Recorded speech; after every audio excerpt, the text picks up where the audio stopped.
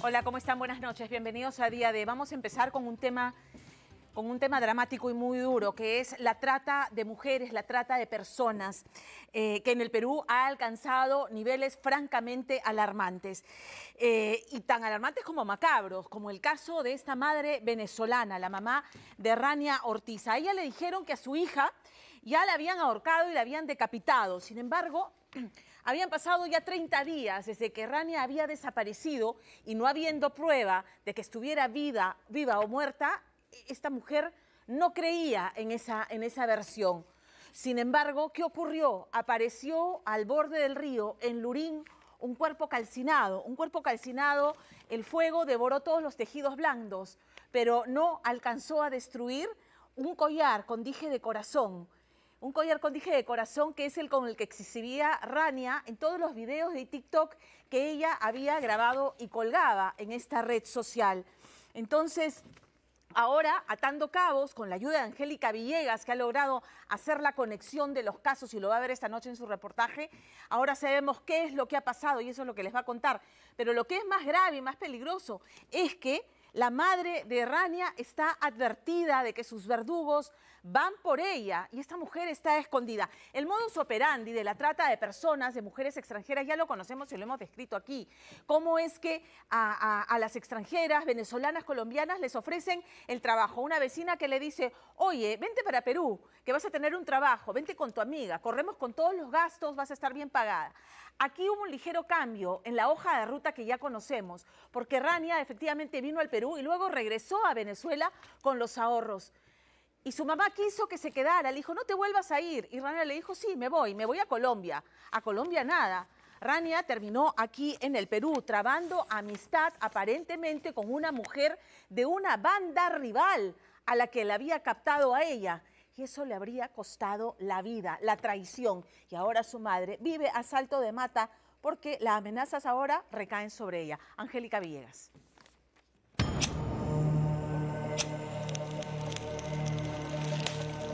Extraño a mi hija muchísimo, muchísimo. Me duele muchísimo, ¿sabes? Son 30 días sin dormir, porque hasta me dijeron que le habían ahorcado, que le habían picado, que le habían decapitado. Ay, no, que no han inventado y que no han dicho la versión verdad cuando aparezca su cuerpo. A miles de kilómetros de distancia, una madre protege su identidad por miedo para reportar la trágica desaparición de su hija de 20 años, quien según ella habría sido captada por una red de explotación sexual. Describe que está tatuada, con piercing, brackets y un collar de corazón.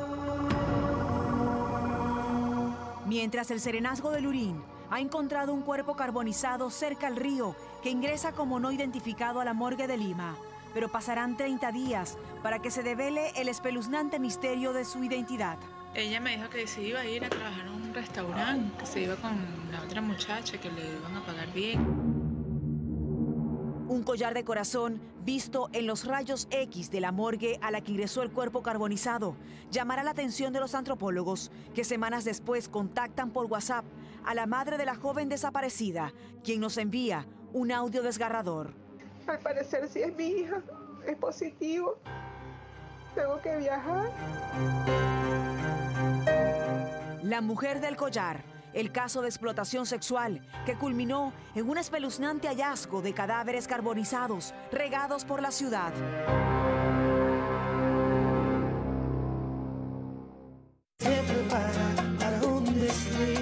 Es el 4 de febrero del 2024 en Ate cuando Rani Ortiz, llevando siempre un corazón de amor infinito, cuelga su último video en TikTok, sin saber que la muerte ya le respira en la espalda. Había llegado del centro de Venezuela hace pocos días y ya contaba con más de 14 mil seguidores en una cuenta de TikTok que sus parientes no conocían y que manejaba con el usuario de AIJ3 su cabello negro largo, el piercing en su lengua junto al adorno de los tatuajes que llevaba en su cuerpo, llamaban la atención del público masculino en sus seguidores quienes interactuaban con ella al son del reggaetón y la bachata. Era la mayor de una familia de tres hermanos que ayudaba a su madre en la venta de tortas, aunque paradójicamente vivieran momentos de hambre entre las adversidades y crisis económicas de su país. ¿Qué pasó para mí? Oh, la mordió. Ella no te llama, eso no es problema mío cuando estuvo aquí, ella estuvo tranquila, estuvo arreglando sus papeles, sus currículos, sus cosas, buscando trabajo, pero el trabajo como tal que ella quería no se le dio, que era un bingo.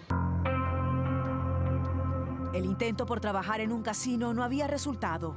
En la casa de Rania, esta mujer era padre y madre para sus hijos, en ese hogar lleno de tantas carencias, y al que había llegado una vecina rubia de la joven que comenzaba a frecuentarla. La primera vez que Rania Ortiz llega al Perú es a través de una amiga quien la contacta en Venezuela, siendo su vecina, y le propone trabajar acá, en un restaurante, por lo que ella decide alquilar una casa con dos cuartos para ella y otras dos compañeras. Hasta ahí la comunicación con su madre era fluida. Ella me dijo que se iba a ir a trabajar en un restaurante, que se iba con la otra muchacha, que le iban a pagar bien, que le daban todo y después ella, después que estaban allá, ellos pagaban con el viaje y se quedaban trabajando. En esa cuenta oculta de TikTok, Rania se grababa desde el distrito de Ate en Perú con una nueva amiga y paisana de cabello negro. En otros registros se unía a la fotografía la rubia vecina que la había traído a Perú. Todo parecía una cordial amistad de tres que tenía a Rania entusiasmada, regresando ella a Venezuela con dinero después de ocho meses de trabajo a Perú. Pero algo no encaja para su madre, quien al recibirla en su país la convence de quedarse e invertir en un negocio del dinero que había logrado traer. Estuvo acomodando sus cédulas, sus cosas. Ella me pidió los documentos, pero yo decía no, porque yo no quería que se fuera, pues. Finales del 2023, Rania se despide nuevamente de su madre, indicándole que tiene mejores propuestas de trabajo a nivel internacional. La segunda vez que esta joven sale de su país le indica a su madre que el destino es Colombia. Sin embargo, a su madre le sorprende que siempre que se comunicaba por videollamada con ella, estaba en una cama, acompañada por un hombre y una mujer, donde esta mujer dejaba entrever que la hija de esta señora solía delatarlos, llamándola bocona. Y siempre que hablábamos, ella interrumpía se metía por el cuarto a ver con quién estaba hablando mi hija. De hecho, de dos meses para acá eh, hubo un, momento que eh, había unas mujeres ahí y estaban peleándose y mi hija está en el otro cuarto. Y ella le baja el altavoz y va y como que le reclama algo. Y después ella se mete para el cuarto y la muchacha viene y se mete y le dice, zapa. La información que había obtenido la madre de Rania después de una tragedia es que su hija había sido captada por una organización dedicada a la explotación sexual, liderada por la pareja de la amiga de cabello negro que tenía. Pero esta red, según ella, estaba enemistada con la organización para la que trabajaba, la vecina rubia de Rania, que la había traído a Perú. Así que el hecho de que Rania tuviera amistad con esta trabajadora sexual de una organización opuesta le costaría muy caro. La actitud de esa gente me preocupé y se lo dije. Rania, 20. 20, 20, 20, 20, se lo dije. No, sí, mami, yo me voy en 10 días, me voy como para el 10 de abril, me dijo. Pero cuando ella habló conmigo, ahorita que estoy rebominando y acordándome de cosas, o sea, el error de ella fue que dijo que se venía. ¿Me entiendes? Anunció que se venía. Es el 2 de abril del 2024. Hace varios días, Rania no cuelga reels en TikTok.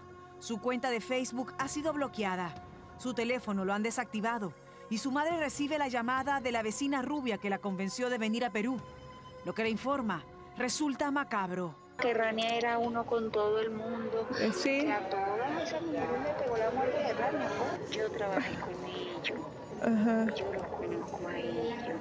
Ujú. Y esa gente, al saber que va a aparecer el cuerpo de Rania, que unos familiares la están buscando y todo lo demás, van a arremeter contra usted. Ellos. Lo que tiene que pensar en usted y en los niños. Entonces dijeron ajá, que supuestamente que Rani que le había robado a, a- a esa persona para poderse venir porque eh, que ella no aguantaba más estar allá y que vino la otra y le, y le dijo lo que había hecho Rani. Entonces a Rani me la mataron por eso y a la otra le cortaron la lengua y por eso fue que la- las eliminaron a las dos. La vecina rubia de Rania le informaba a su madre que la noche del 2 de abril El hecho de que su organización descubriera que ella mantenía contacto con esa amiga que estaba en otra organización resultó una traición para ellos, quienes irían por ella. Ese día en la noche la habían sacado por los cabellos, le habían dado un golpe muy duro desmayada y se la llevaron. Llego yo aquí a la matica, todo el mundo tenía la información, menos yo, todo el mundo dándome el pésame, el pésame, eso lo publicaron por todos lados. Y yo aún sin saber, tenía una llamada, una policía, ni de Perú, un funcionario, ni de la morgue, ni nada, o sea, nada. Todo esto lo contaba la madre de Rania desesperada a distancia, aprovechando el retorno del servicio de luz para encontrar la mejor conexión de Internet en Venezuela. Pero aún dudaba de querer hacerlo público porque no estaba segura si en realidad su hija estaba muerta.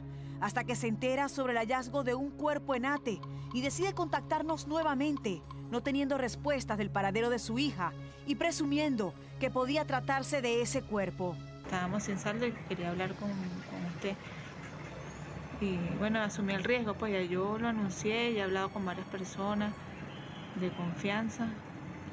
Y falta que yo haga esto legal y buscar protección porque esa gente, como le digo, son unos vándalos. Porque compran a todo el mundo. Ella viene y me dice que no, porque la semana pasada mataron a otra muchacha, la quemaron viva. Y yo le digo, y como tú sabes, sí, esa información la pasaron, porque ellas tienen un, esas mujeres que trabajan así en la calle, ellas tienen un grupo donde pasan todas esas informaciones. El 3 de abril del presente año ingresa a la morgue de Lima un cuerpo carbonizado, no identificado obviamente por las circunstancias. Así que el equipo de antropólogos se despliega al día siguiente y les llama la atención que hay características que prevalecen a pesar de cómo estaba la condición del cuerpo, como por ejemplo objetos de metal, una cadena y un par de piercings que los llevan a ir conociendo de quién se trataba, cotejando información a la vez con la madre de la víctima.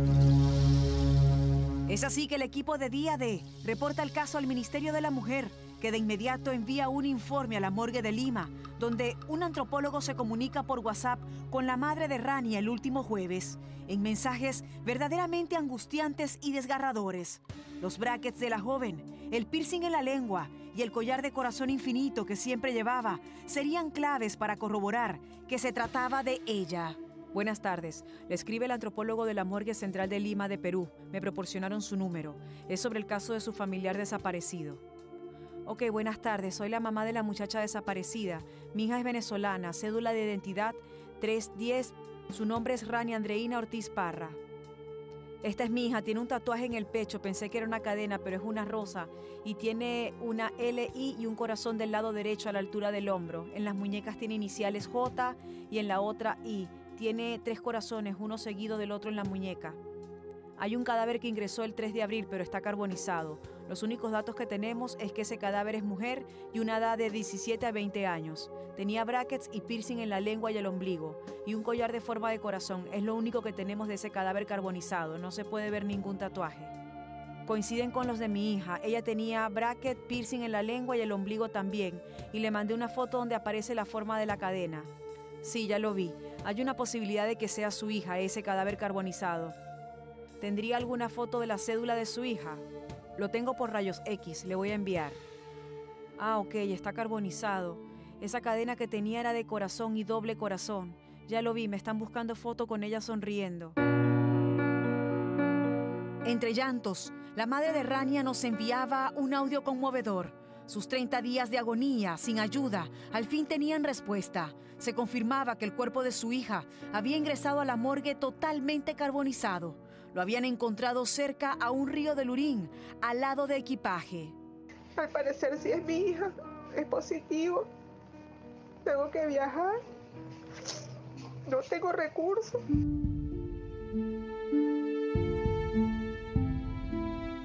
La habían quemado tan pronto la asesinaron. Eso podían observar en los tejidos el equipo de antropólogos que analizó el caso. En este caso nosotros tenemos que ver, digamos, cuando un, un hueso es fresco al momento del impacto térmico. Hay otros detalles que para ustedes también fueron vitales, como por ejemplo los brackets que tenía la joven. Eso no, no se derrite con el fuego. Claro, llegó de una temperatura que igual los dientes aguantan un cierto temperamento, ¿no? Mayormente para que se destruyan los dientes tiene que haber un promedio de mil grados Celsius, ¿no? Para que se destruya. Presenciaba dos piercing en la lengua, un piercing en el, en el, en el, en el ombligo, piercing en los pezones y la cadena también que ayudó bastante, ¿no? La familia, la familia pudo reconocer la cadena, ¿no? 30 días de una trágica desaparición que terminó en el más horrendo crimen. En la morgue de Lima le han prometido a la madre de Rania que retendrán el cuerpo mientras ella busca el dinero y la documentación para viajar de Venezuela a Perú. En un caso que se presumía, se trataba del cuerpo carbonizado encontrado también en Ate, con características particulares a las de Rania. La información que ha recibido su madre es que esa noche su hija no fue la única víctima. ¿Cuántos cuerpos carbonizados en este momento han sido esparcidos en la ciudad?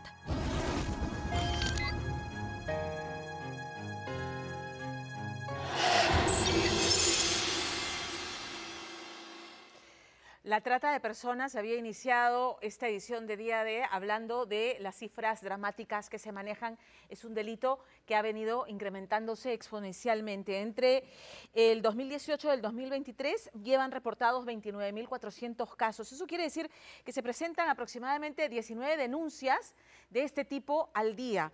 Y, lo que ha exacerbado el, incremento exponencial es precisamente el flujo migratorio, el flujo migratorio de mujeres que se vuelven sumamente vulnerables en un país donde no tienen contactos, donde no tienen acogida y, y se encuentran a merced de estas organizaciones. ¿Saben cuánto dinero mueve la trata de personas en el país? Estas son cifras de la Defensoría del Pueblo, 1.300 millones de dólares al año, de los cuales 700 responden a explotación sexual y 600 millones a explotación laboral. Esto quiere decir, y está nuevamente, son cifras de la Defensoría del Pueblo, que es 28.875 soles anuales que reditúa cada víctima versus el punto 12, los 12 centavos de sol que invierte por cada víctima, haciendo el prorrateo, que invierte el Estado en los temas de prevención, de persecución de este delito. Estamos muy, muy, muy lejos de realmente atacar un problema que se ha convertido en una preocupación, ya lo digo, de la Defensoría del Pueblo, que debería ser una preocupación principalmente de los consulados, de los cuerpos diplomáticos de los países de donde vienen estas mujeres, de Venezuela, de Colombia, de Ecuador, y por supuesto de nuestras autoridades, porque la trata también es interna. Muchas veces la explotación se esconde detrás de anuncios inofensivos, ¿no? Mesera, camarera, y, y, las extraen de sus lugares de origen para